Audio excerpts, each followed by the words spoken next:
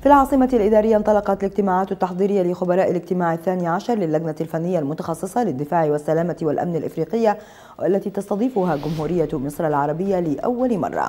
وتستمر اجتماعات الخبراء على مدار ثلاثة أيام وتتضمن العديد من الجلسات لمناقشة عدد من القضايا المتعلقة بالدفاع والأمن والسلامة بقارة إفريقيا. تأتي تلك الاجتماعات في إطار الجهود السياسية لإحلال الأمن والسلام والتنمية بقارة إفريقيا خاصة مع تولي مصر رئاسة الاتحاد الإفريقي حيث تهدف الاجتماعات إلى تحقيق الاتحاد في القرارات لإيقاف أي تهديدات أو عدائيات تواجه قارة إفريقيا.